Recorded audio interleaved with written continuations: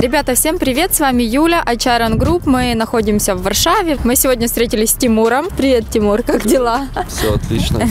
Я приехал из города Сочи. Э, Я нахожусь в Польше уже где-то полгода. Э, Я приехал по приглашению и в первую очередь по совету своих знакомых. В Сочи, ну, город, конечно, курортный, классный, но перспектив особо нету.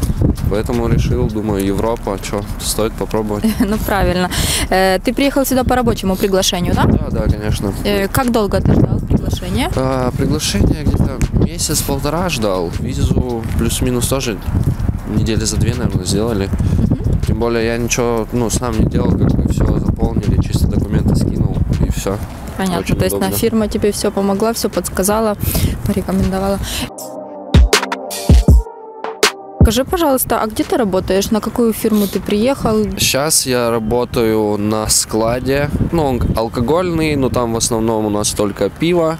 Вот, я работаю как на складе, так и на доставе. Зарплата твоя отличается от той зарплаты, которая у тебя была в России? Да, да, но тут зарплата на порядок реально больше, потому что в злотых, например, я получаю 3-4 тысячи, э, в зависимости от объема работы, и в годовую, ну, это где-то выходит 120, если на российские, 120 тысяч рублей, то, в принципе, нормально, потому что я работал в Сочи в видео, и в месяц я там получал 13-15 тысяч рублей максимум. Хочу пожелать, ребята, не переживайте, не бойтесь, приезжайте, берите ответственность за свою жизнь на себя, и у вас все будет хорошо.